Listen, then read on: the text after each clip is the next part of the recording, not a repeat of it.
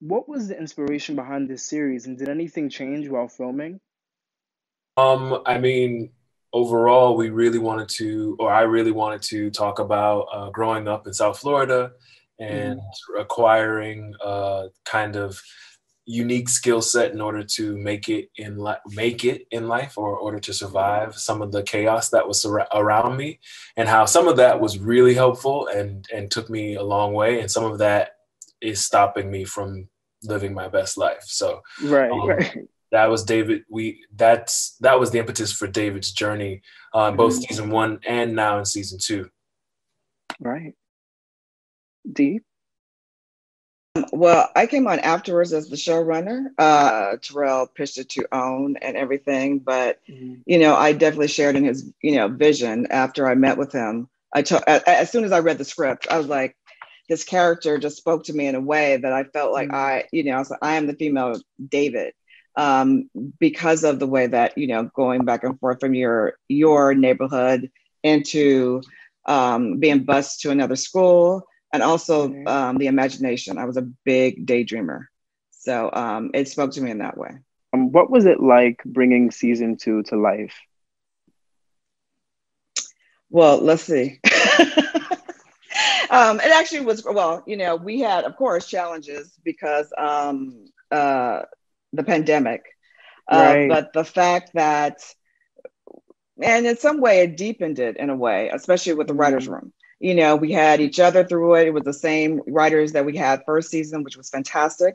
So I think it, de- you know, things got in there, seeped in there within our writing of each episode um, of what we were going through. So I think it mm-hmm. deepened what David was going through on his, you know, day to day and and struggles being someone um, now um, at the present who still is dealing with something he hasn't dealt with in his past. Mm-hmm. Um, so uh, that I think that helped us a lot. And you know, with the pandemic, with everything, and having this, you know, new actors coming in to play older the, the older selves of you know like JG and David. Um, it was what was great and what was a challenge uh, was the fact that we couldn't do a lot of things, um, you know, beyond the set as much. But mm-hmm. because we had, again, um, a lot of people in place, we were still able to communicate, you know, certain things. So I think that helped us a lot in launching the second season. What does the water symbolize in the show? Um, I don't know that it, I like water. I don't know that there is a um, there is a fixed symbolism. I think there's a lot of uh, different uses for water. I think um, the water is all around David, and it definitely has a lot to do with the change and changes and changing. Um, you know, some of David's largest changes have to do with water, and and you know, when he went to Hurston, something around water really changed his life. And I think also, you know, the gentrification that's happening in Miami um, due to climate change is mostly due to water and, and sea rise level. Um, so, you know, it, it, if it symbolizes anything, it symbolizes change, but it it's a it, it's not that big of a symbol. It's figure. It's literal. It's actually happening that the water is changing so much around David. Right. I love that. And last question: What do you think is going to surprise people this season?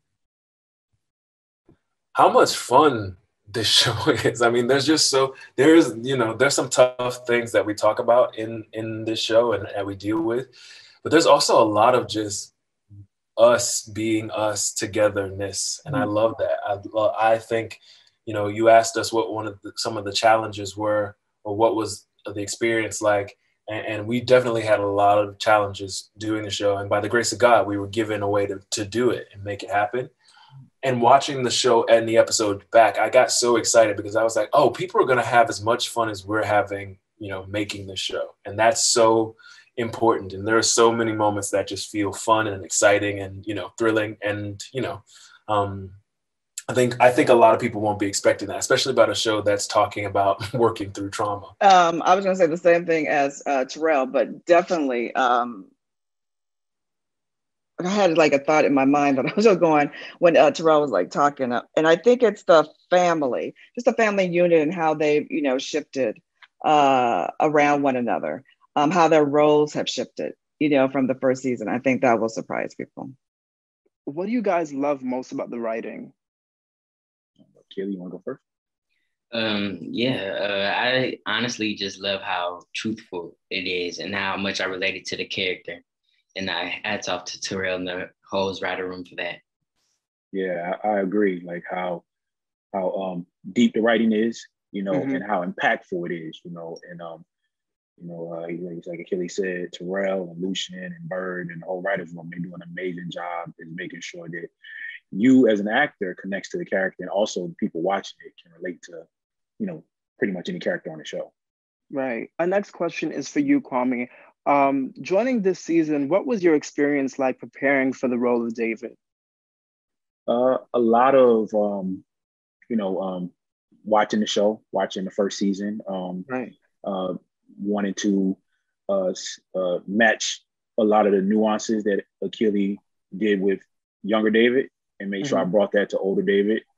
And um, and then just like uh, when it came to like the real estate stuff, and um, I have friends who are in the business, so they would give me different books mm-hmm. to read and different material, so I could be more understanding of what I was talking about when I was in the scenes. Right, I love that. Um, Akili, I want to know how do you think that David has evolved from season one into season two?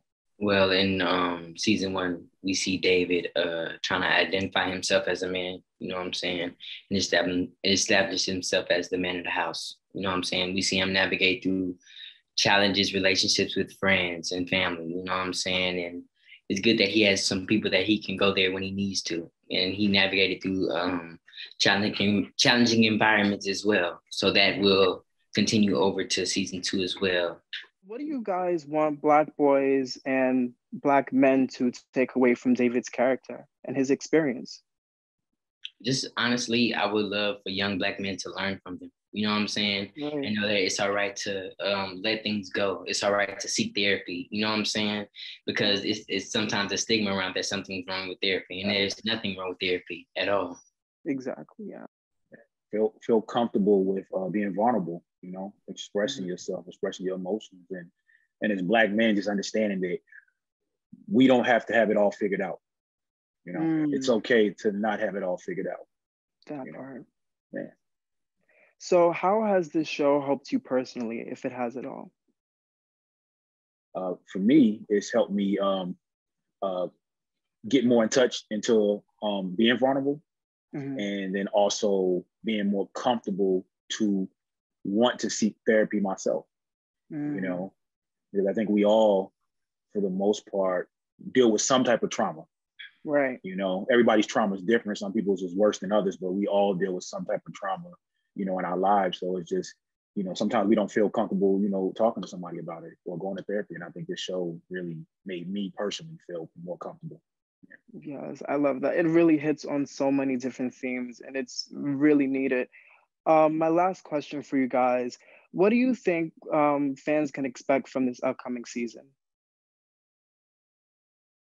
You. You can go ahead. Okay. Um, I think that uh, you know, fans are going to just see like, man, they're gonna be on a roller coaster ride basically, and they'll get to see, you know, um, older David still trying to navigate through the traumas that he dealt with as, as a youth. And, and we'll get to see, you know, um, how he navigates that with the help of younger David, you know, mm. because yeah, he he's older David's going to struggle and he's going yeah. to need, you know, younger David to help him get through a lot of these problems. And so we'll see how that uh, plays out. Gloria represents so many women in a way that I personally haven't seen, um, you know, on TV. So for you, where did you pull from to bring this character to life and to make it so authentic and so relatable? Oh, thank you. Thank you for that. Well, you know, to be quite honest, I feel like um, I was raised in a Black community, right. and I feel like there are so many, number one, there are so many single mothers, right? The other thing is there are women who, in the face of a host of different challenges, who have said that they are going to hunker down and do the best that they can by their children. I, I, think so many of us, if we were not raised by a woman like that, we know women like that. Right. And so um, maybe to some degree, Gloria's character is long overdue for having, you know, their time in the sun. Definitely. What was your biggest challenge, if any, preparing for the role? Uh, well, let's see, biggest challenge. Well, I would say actually the biggest challenge for me in the beginning was not coming from a great deal of on camera experience. A lot of my career background um, has been in theater. So okay. I think I, yeah, so I think I always, especially with season one, I always wondered, you know, if I was doing what was necessary and appropriate for this particular medium, you know, um, especially uh, working with other professionals who who have a long history in this. You know i really had to lean upon my directors and uh, fellow cast members to just sort of kind of check in and make sure I was correctly calibrated for this particular art form. Well, you've done a fantastic job. You're really doing your thing. Do you have a favorite like line of dialogue without like giving anything away? Um, okay. So without giving anything away, I'm gonna I'm gonna tell you something that's kind of crazy, kind of hilarious. So there is a particular line this season that mm-hmm. I had to say that everybody knows this line, but I didn't. Okay. Uh-huh. It is from a very, very popular song. And I I know the song like 100%. I know the song. Yeah. But I never knew the intro to the song. I never knew there was a whole intro to the mm-hmm. song and this particular line was said. So everybody was like, Alana, for real, where have you been? And I was like, well, that's y'all that went and bought the tape. I was just hearing the song on the radio. Yeah. So I didn't know they were, that was the part of the intro. Yeah. So I would just say later in the season, you will hear a very famous quote. Somebody in my family recently said this, like at a family get together, they yeah. said the line, I was like, "Are you kidding me?" you knew it. That is so funny. I really was the only person who didn't know. so then, when they so literally on the day that we shot the scene, they played the intro to the song, and yeah. I was like, "Oh, oh, okay." There you go. Yes, yes. I love that. What advice would you give to somebody who is like Gloria in real life? Wow. You know, I would say give yourself grace give yourself grace. Um, do not listen to any judgment about your circumstance. And I would say continue to fight for mm. your vision of freedom and happiness. Yeah.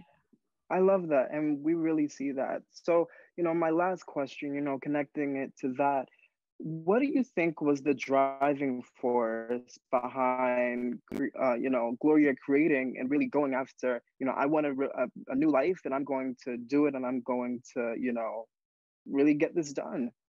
You know what? I i can imagine that there is something inside of a human being that realizes that something is wrong. This this mm-hmm. is this doesn't feel like this should be my reality.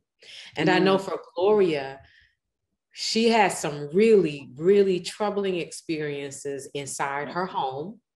She she was taught certain things that they, you know, it, it should be a certain way. None of that panned out for her, right? right. So you have this way that you, things should be. None of what you said panned out to be true. And these things did not in my spirit feel like they were right. Mm-hmm. So I think when in the human experience you have an inclination that something can be better and you lock on to that and you pursue it with everything you have, I feel like there is something inside of Gloria that knows there has to be something better. I there somewhere I, I have seen better. Somewhere it might not even be in my vicinity or experience, but I've come past better. I've met people who are not my family and we make a family. You know what I'm saying? So I feel like somewhere in Gloria, she understood that there could be better. Yeah.